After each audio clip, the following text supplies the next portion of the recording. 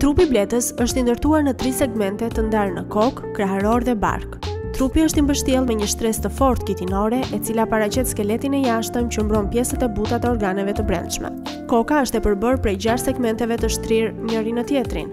Mirëpo, te mëma, bletët punëtore dhe meshkujt ndryshon. Te mëma dhe meshkujt, koka ka formë të rrumbullakët, ndërsa te bletët punëtore ka formë të trekëndshit.